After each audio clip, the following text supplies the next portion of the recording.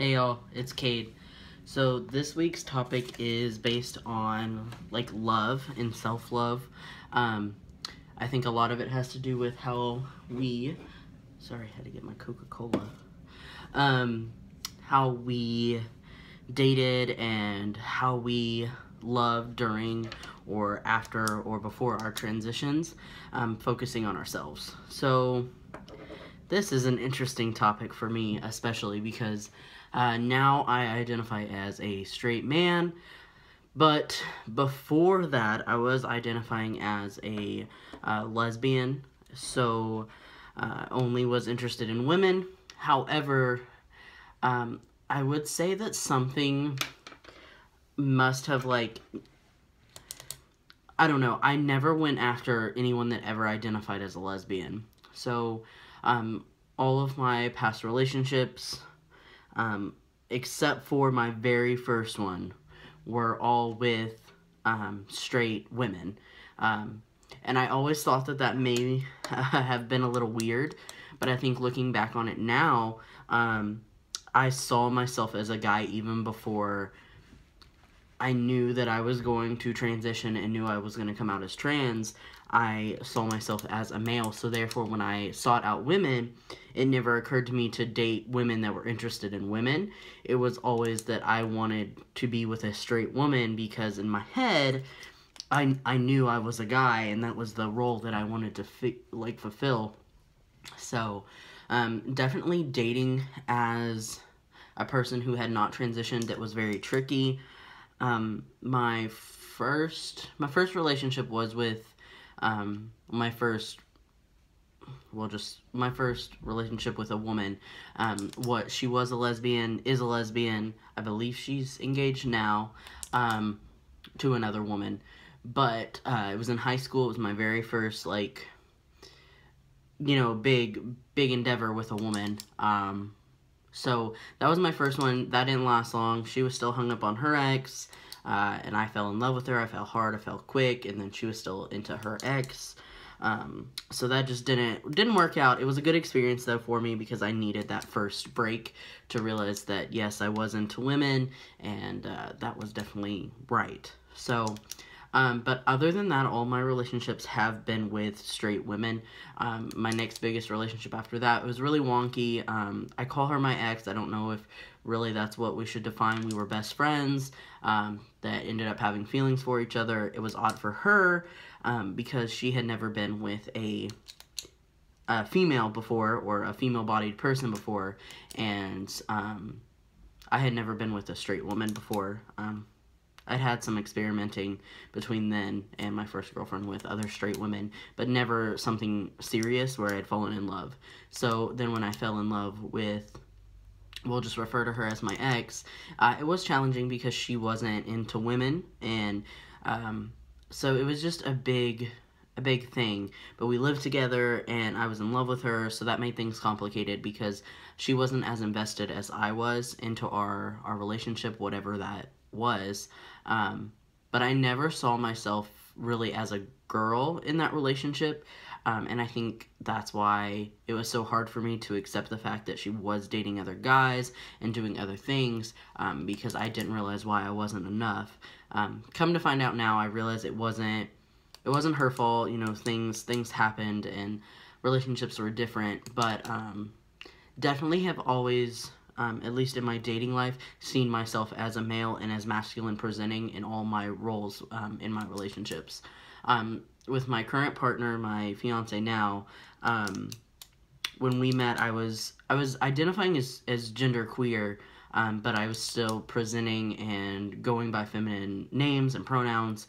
So when we started dating, um, she actually, my current girlfriend, actually I don't know if we'd say got kicked out of our house, but her her and her mother got into a, an altercation, um, and it, I think it was solely based on the fact that I was a female and she didn't want her daughter dating another female. Um, you know, there's always going to be bigotry in the world or ignorance when you don't understand something. So that was a challenge at first, and it's odd because our relationship has kind of 180 since then because now I do identify as as male. And I think I always have even when we first started talking I was binding and I let her know that I was insecure about my gender and things like that but I was still presenting in the world as a female.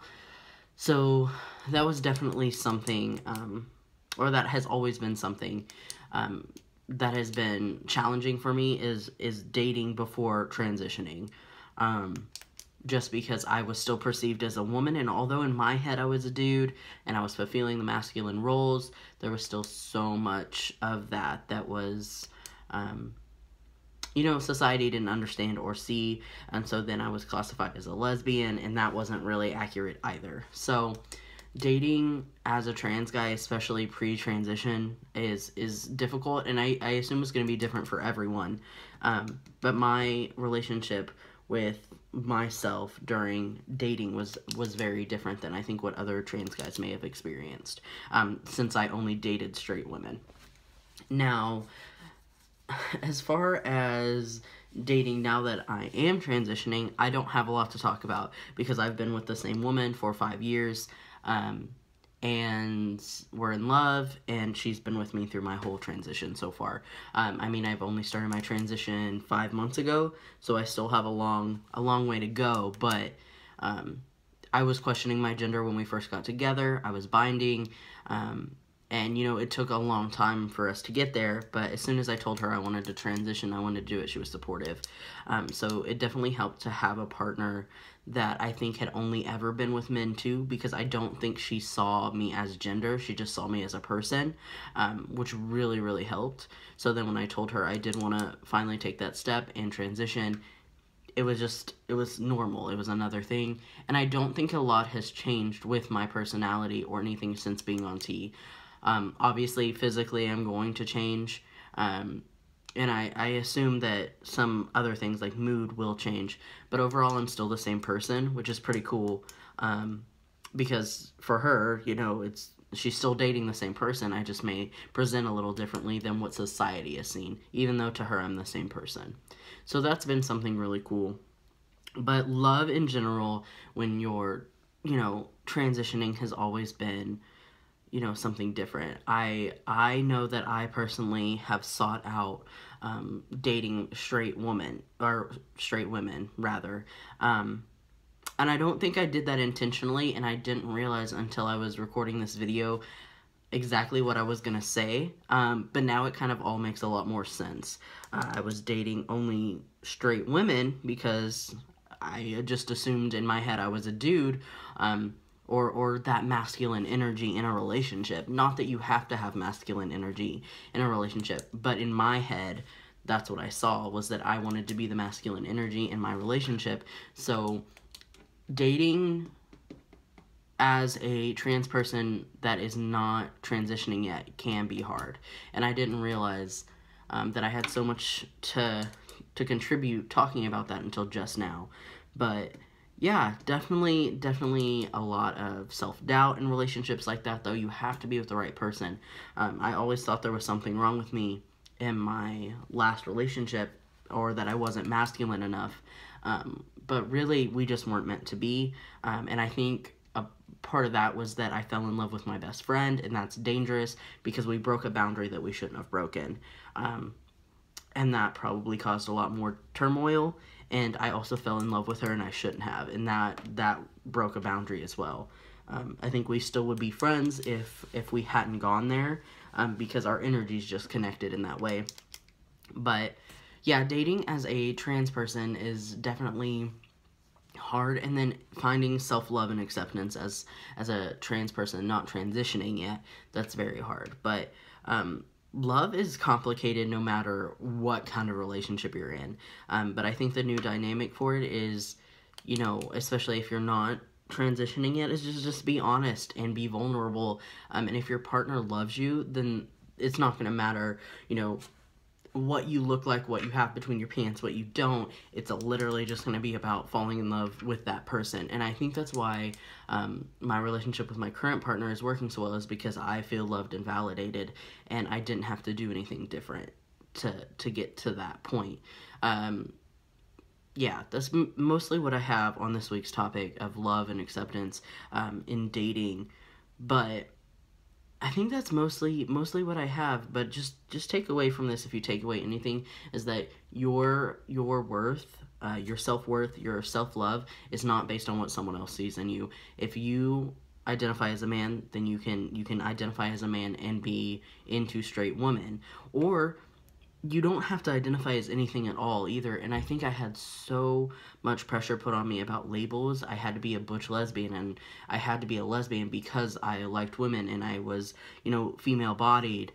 But that's not the case. I, I can identify and be what I am without having society put a label on it. So that would be my biggest takeaway from from dating. Um, and, and self-love too. You have to learn to love yourself when you're in a relationship and i think so much of if i could have my brain that i have now and put it in my younger self I, the knowledge the knowledge the things i would not have done because i knew the the consequences. And you know that's that's how you learn is you make mistakes and you mess up. But i think I think I learned a lot because of my transition in dating as a trans person.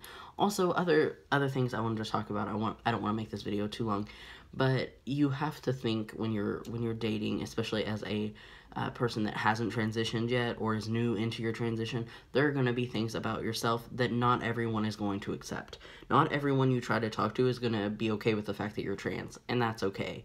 Not every person that you talk to is going to want to date you because you're trans and you're short, and that's okay if you're looking to date someone and they don't accept you for who you are, exactly who you are, then it's not worth it.